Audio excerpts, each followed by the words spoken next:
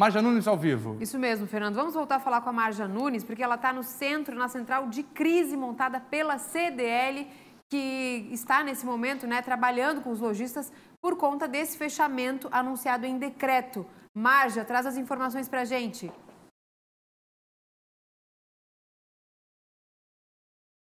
É, eu estou aqui na CDL de Florianópolis junto com o Marco dos Santos, diretor aqui é, de SPC e serviços da CDL. Ah, diante desse decreto agora do governo de estado, é, como, que, né, como é que ficam a, a, os empresários, microempresários, né? E, e, como vocês veem essa situação de agora em diante? Porque também existe uma preocupação com a questão econômica também, né?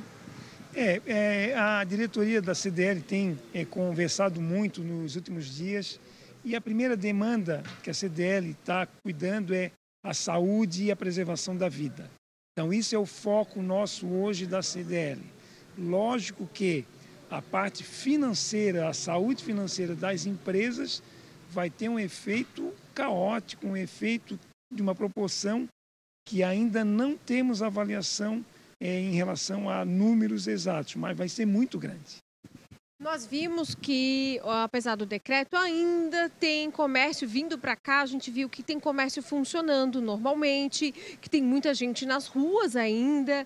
É, essa situação é, mostra que as pessoas ainda não assimilaram, inclusive os comerciantes, apesar do decreto ter sido publicado aí ah, na noite de ontem por parte do governo do estado? É, é, ontem nós estávamos numa força-tarefa aqui na CDL, reunidos, é, sabendo como proceder, e depois das 11 da noite, que a gente soube que o decreto tinha sido publicado no Diário Oficial, que iria valer a partir de hoje. No nosso entendimento, até as 11 da noite de ontem, é que só valeria a partir do dia 19. Então, teríamos hoje para se, se organizar. Mas, diante dos fatos, Muitos empresários não tomaram conhecimento, não tiveram tempo hábil de, de avaliar, de conversar com as suas equipes. Isso eu acho que acabou ocasionando algumas lojas abertas no dia de hoje ainda. Mas a gente percebe que já tem muita loja fechada.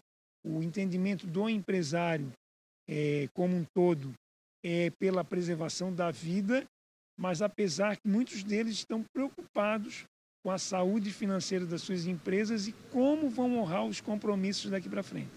O impacto econômico desse momento, desses primeiros sete dias aí?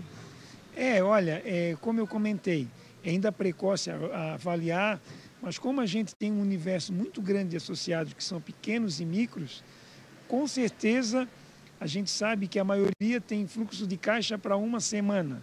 Né? Eles vendem hoje para pagar amanhã. Muitos deles que eu já conversei, alguns pequenos empresários já falaram: o que eu vou fazer? Eu vou deixar de pagar o imposto agora que vence dia 5 para tentar honrar a folha de pagamento é, no próximo quinto dia útil. Então, está nesse, nesse, nesse sentido é que é o sentimento do empresário, apesar que ele está muito consciente que a vida é em primeiro lugar. Tá certo, obrigado Marco pelos esclarecimentos. Como ele falou, é, é, difícil mensurar, mas já tem gente calculando aí de não poder pagar algumas obrigações para poder honrar a folha de pagamento. Eu vou continuar circulando aqui pelo centro da capital, mostrando como que está a cidade, né? Aqui, principalmente o centro, em relação ao transporte, comércio, enfim, serviços. Nesse primeiro dia, né, após o anúncio aí do governo do estado de situação de emergência por causa do Covid-19. É com vocês aí no estúdio.